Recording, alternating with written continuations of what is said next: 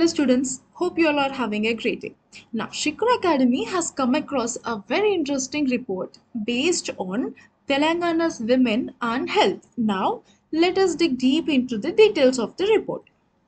Now this is a wahoo for for part of the publication. I mean this publication or this compendium was published for the planning department of Telangana by the Council for Social Development and for to strengthen the newly formed state database. And what? What does the publication contains? It captures 99 indicators at the district level. So basically, this publication or this compendium was uh, done by CSD that is Council for Social Development, for the Planning Department of Telangana to strengthen the newly formed state database and it includes or captures 99 various indicators at the district level. Now, what does it uh, contain? What does this report contain? Basically, this report has calculated BMI, that is body mass index of women in Telangana. Now, what is body mass index? It is an indicator of health.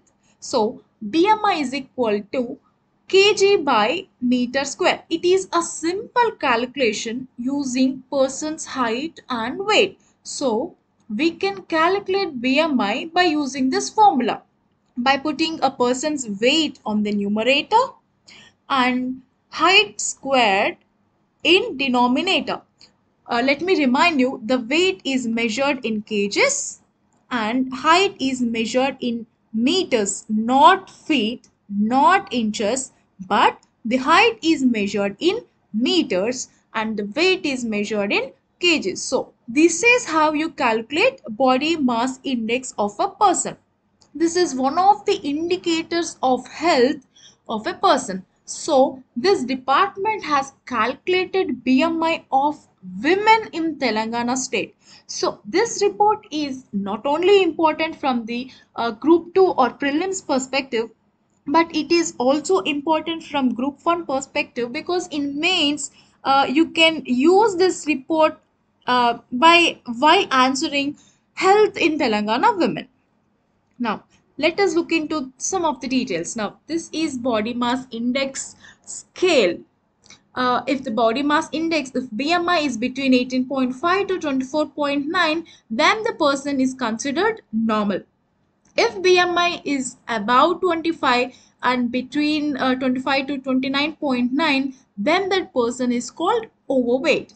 If BMI is between 30 and 30, 39.9, then that person is considered obese.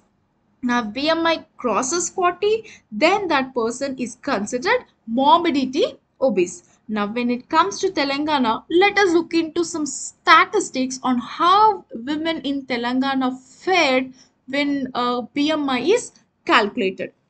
So, the average BMI of women for the entire state of Telangana is 30.1%. So the average person has 30.1 as BMI. So 30.1% for Telangana. Now with 14%, Kumaram Bhim Asifabad has the lowest percent of women who are overweight or obese that is more than 25 BMI. With 51%, Hyderabad has the highest percentage of women who are overweight or obese. So, for example, there are 100, let's say there are 100 people in 100 women in Telangana, 30 women are overweight according to this report. And uh, let's say there are 100 women in Asifabad district, 14 women are overweight. Now, when it comes to Hyderabad, 51%, that is if there are 100 women in Hyderabad, 51 women are either overweight or obese. So this percentage is more for Hyderabad when compared to Telangana. So more women are obese in Hyderabad when compared to the entire state of Telangana and the least percent uh, or least women who are uh, obese is uh, observed in Komrambim, Asifabad district. Now, when it comes to underweight, 18.8% women in the state have their BMI below normal levels, which is less than 25 kg per meter square. So, if there are 100 women in Telangana, around 18 women are below norm, have below BMI, I mean low BMI, which means they are underweight. Same way, with 12.4%, Hyderabad has the lowest percent of women whose BMI is below normal. And with 27.5%, Joglamba Gadwal has the highest percent, which means if there are 100 women in Gadwal, around 27 women are below have below BMI, which means they are underweight. Now, this report not only calculated BMI levels of women in Telangana, it also calculated literacy levels of women in Telangana state. With 83.6%, Hyderabad has the highest percentage of women who are literate across Telangana and it was 66.6% for the entire Telangana and with 45% Joglamba Gadwal is the lowest in state. So for the entire Telangana the literacy rate for women it is 60 66.6% for the entire Telangana. And for Hyderabad it is 83.6% and the lowest percent of literacy in Telangana state is recorded in Joglamba Gadwal at 45%. Moving on to the next indicator that is pregnancy.